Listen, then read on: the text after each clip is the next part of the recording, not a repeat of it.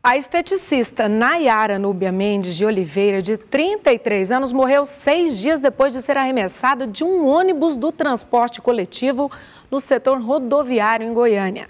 Segundo a família, testemunhas contaram que o motorista abriu a porta do veículo antes de frear, causando o acidente.